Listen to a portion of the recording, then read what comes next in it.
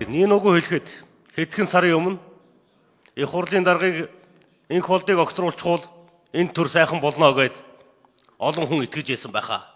Занаштар дарга нааш хараадгаа. Занаштар дарга. Тэгээ таныг их хурлын дарга болгос болгосоо. Нэг л гөлийчөөд нэг их хурлын үйл ажиллагаа чинь нэг нэг л нэг тим явахгүй байна да. Иргэд олон түмний зүгээс шилж байна. Их хүлээлт байна аа. Нэг л том дисрэлт гарч өгөхгүй байна. Өөрчлөлтийн салхичийн мэдрэгдэж өгөхгүй байна. гэж л одоо иргэд олон том хөдөө орнотгоор явж хахад хэлж байна. Бүрэг гөлийчгэл наад их хурал чинь, наад төр чинь. Өчигдөр Монгол улсын ерөнхийлөгч биднийг дуудаж уулзсан. Наад архиталтаа болооч гэж хэлж байна. Наад архиталтаас чинь болоод хүний амьд хүрээд штэ гэж. Өнгөрсөн 7 хоногийн 5 дахь өдөр их хурлын гишүүд нь ордноор архи хуугаад яваад байсан гэдэг мэдээлэл ерөнхийлөгчдөр очсон байна.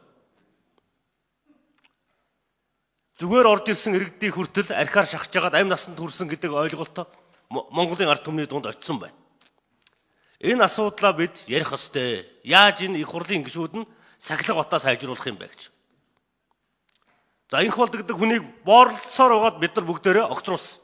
Одоо их хурлын ажил яаж сайжирсан юм бэ?